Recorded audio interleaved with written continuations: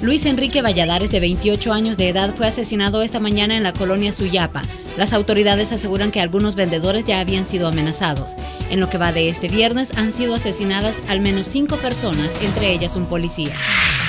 Esta mañana comenzó en el juzgado de paz de Panchimalco el proceso judicial en contra de Joel Benítez, el único capturado el domingo tras un enfrentamiento en el que murieron cinco supuestos pandilleros.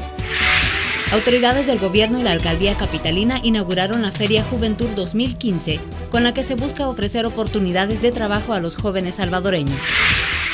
Las autoridades detuvieron a la ex vicepresidenta de Guatemala, Roxana Valdetti, vinculada a una millonaria estructura de defraudación aduanera, cuya investigación ha sido conducida por la Fiscalía y la Comisión Internacional contra la Impunidad, CICIG. La Federación Salvadoreña de Fútbol presentó este viernes a Jorge Rodríguez como técnico interino de la selección y a René Ramírez como preparador físico.